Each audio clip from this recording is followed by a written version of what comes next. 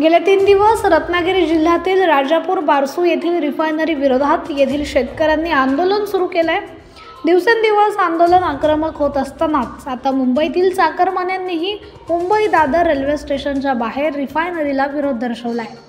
विरोध विरोध रिफायनरीला विरोध नको नको रिफायनरी नको अशा घोषणा देत मुंबईतील दादर परिसर दणाणून सोडला आहे